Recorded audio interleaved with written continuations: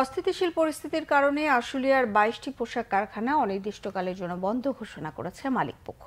সাধারণ ছুটি ঘোষণা করা হয়েছে আরও বেশ কয়েকটি কারখানায়। তবে বাকি কারখানাগুলোতে কাজে যোগ দিয়েছে শ্রমিকরা। কারখানার মালিকরা জানান, শ্রমিকদের যৌক্তিক দাবিগুলো মেনে নেওয়ার পরেও বেআইনি ধর্মঘট থেকে সরে না আসায় ব্যবসা পরিচালনার অনুকূল পরিবেশ তৈরি না হওয়া পর্যন্ত কারখানা বন্ধ রাখার নোটিশ দিয়েছেন তারা। পরিস্থিতি মোকাবেলায় শিল্পাঞ্চলে মোতায়েন রয়েছে যৌথ বাহিনীর বিপুল সংখ্যক সদস্য।